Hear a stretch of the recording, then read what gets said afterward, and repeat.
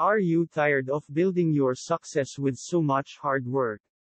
But you still did not get your ambition. Guys, here I can share with you to read this book The Pitu Steps to Become a Millionaire with the Pitu Simple Steps to Get Your Ambition. Because these Pitu Simple Steps never teach you in school. Yet, you spent a lot of money and a lot of time on school. In this book, you only spend 250 pesos and a maximum of 2 days of your time to read it.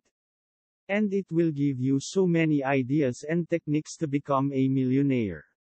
Don't waste your time as you wasted it many years back. Don't blame yourself in the future for not reading this book, The Pito Steps to Becoming a Millionaire. Grab your copy now.